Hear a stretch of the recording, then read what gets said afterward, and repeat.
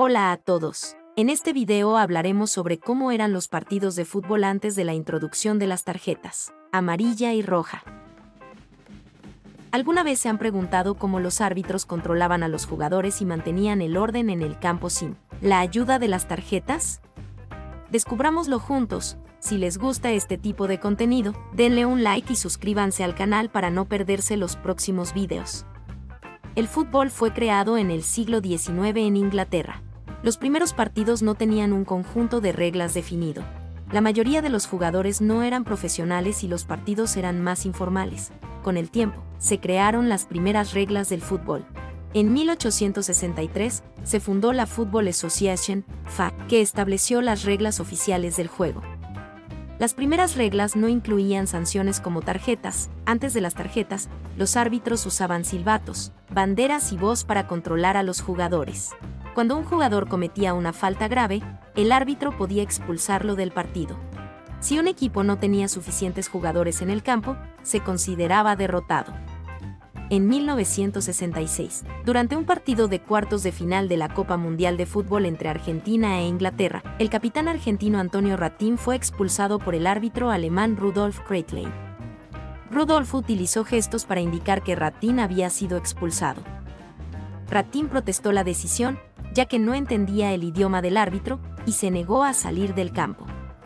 Sin la posibilidad de mostrar una tarjeta roja para indicar una expulsión, Lane se quedó sin opciones más que pedir la intervención de la policía para sacar a Ratín del campo.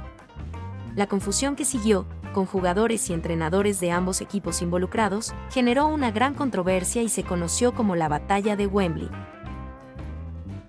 Después del partido, Kenaston fue responsable de llevar de vuelta al hotel a los jugadores argentinos durante el viaje, observó el tráfico de Londres y se inspiró en los semáforos para crear las tarjetas amarilla y roja, que se usarían para indicar una advertencia o expulsión, respectivamente.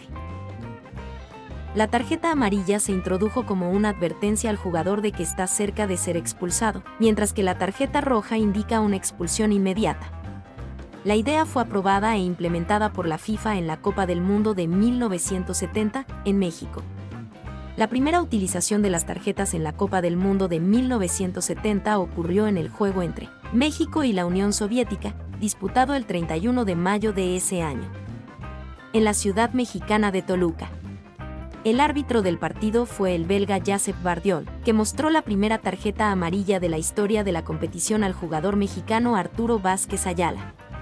En esa ocasión, Vázquez Ayala cometió una falta en un jugador soviético como advertencia, recibió la tarjeta amarilla de Bardiol.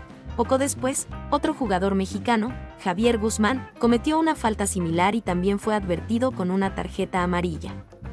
La utilización de las tarjetas en ese partido fue bien recibida por los jugadores y aficionados, que vieron la nueva práctica como una forma más clara y objetiva de controlar la disciplina de los jugadores en el campo.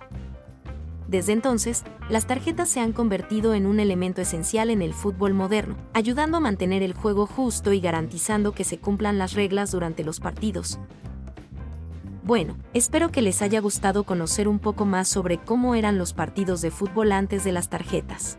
Es impresionante cómo el deporte ha evolucionado a lo largo de los años, ¿verdad?